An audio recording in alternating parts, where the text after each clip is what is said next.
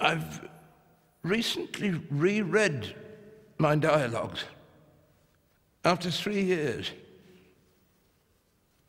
And I freely concede that in several places a reader ignorant of my real purposes could suppose several arguments might suggest real conviction on my part.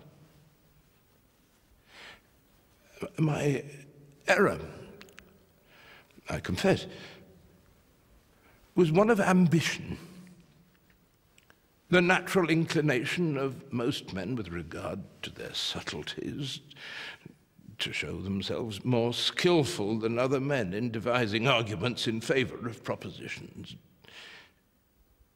Even false propositions.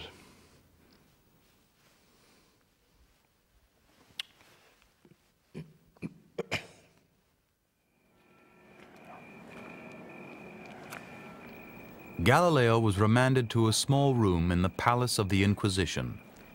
It seemed certain that his dialogue would be banned. The question now became, what punishment would befall Galileo himself? It very quickly boiled down to a technicality. In 1616, Galileo had agreed not to teach or defend the Copernican theory the accusation was he had violated this agreement.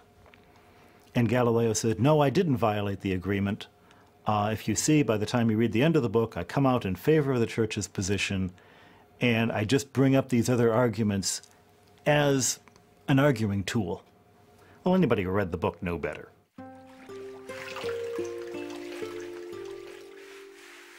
News of Galileo's confinement reached Maria Celeste and she nervously sent off a letter of cautious advice, not knowing if it would ever get to her father. Detained in the chambers of the Holy Office. I have given no hint of these difficulties to anyone else, wanting to keep the unpleasant news to myself. Father, now it is the time to avail yourself of that prudence which the Lord God has granted you.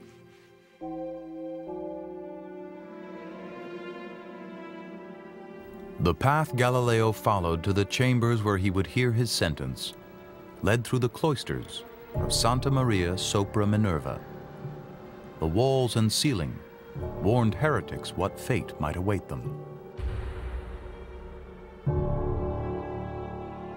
The people who were conducting the Inquisition hope that anybody who's coming into the Inquisition sees these scenes of people who've died in the correct faith realized that they should use the courage of the martyrs to confront their own case, face their heresy squarely, and go off to their punishment with a clean conscience because it's been brought back to orthodoxy.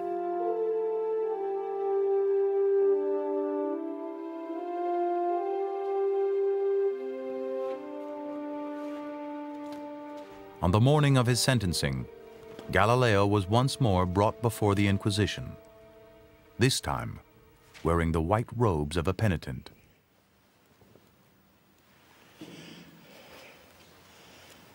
We pronounce sentence. We declare that you, Galileo Galilei, by reason of the matters detailed in this trial, have rendered yourself in the judgment of this holy office vehemently suspected of heresy namely, having held and believed a doctrine which is false and contrary to Scripture, that the sun is the center of the world and does not move, that the earth is not the center of the world and does move, we condemn you to formal imprisonment in this holy office at our pleasure.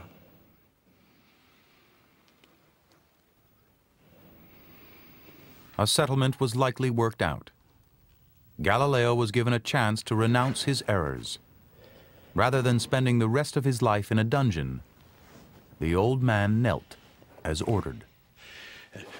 I, Galileo, son of Vincenzo Galilei Florentine, Seventy years of age, kneeling before you, swear that I have always believed, I believe now, and with God's help I will always believe all that has been taught, held, and preached by the Holy Catholic Church.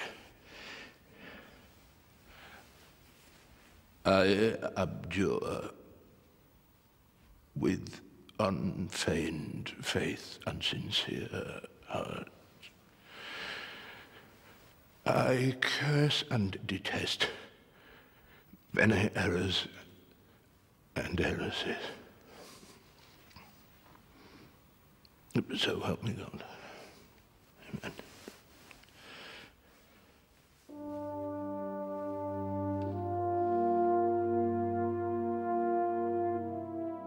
The trial of Galileo was over. Waiting in the Tuscan embassy, he would not know for months when he would be allowed to return home. Dialogue on the two chief systems of the world was added to the index of prohibited books. It would remain banned for the next 200 years.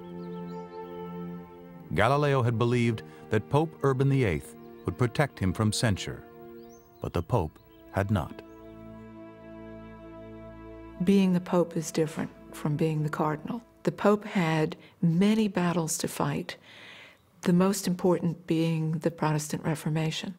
And there he was, the head of the Catholic Counter Reformation. And Urban was actually accused of not doing the right things to further the Catholic cause. The Pope maintained interest in what Galileo was doing but the Pope, in many ways, had other concerns besides science. Urban VIII is facing the Thirty Years' War. The entire reign is under the shadow of a terrible, vicious civil war that's tearing apart the Christian world. So when Galileo came to trial, the Pope could not risk defending his friend when he personally was under such scrutiny.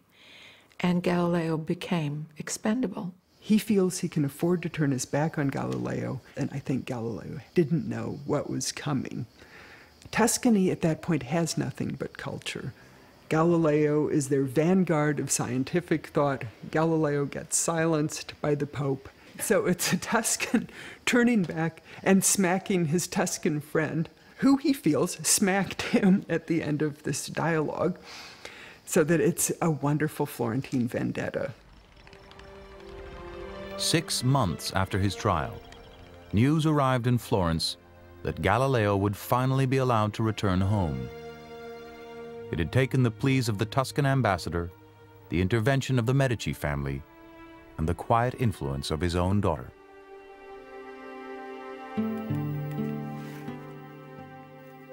We are awaiting your arrival with great longing, and we cheer ourselves to see how the weather has cleared for your journey. Sire, my sudden joy is as great as it is unexpected.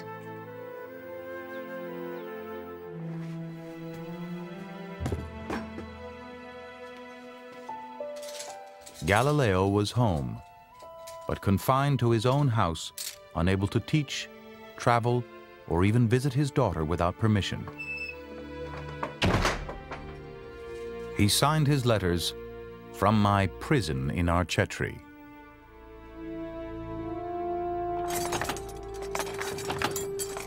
he was under house arrest. He could not move without authorization, and also what he could do, what he could not do, was dictated by the church. Not so many years have passed since I was often received by cardinals and princes of the city who wanted to see only for a moment some of the things that I had observed. Latin orations were occasionally recited in honor of me, the Duke's mathematician, discoverer of new planets, eyewitness of wonders unknown to the ancient philosophers. But now...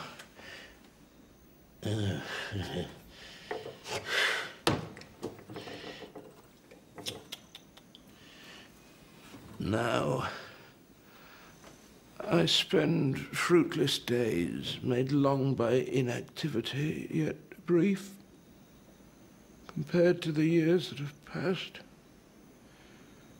My only comfort, the memory of former friendships, of which so few remain.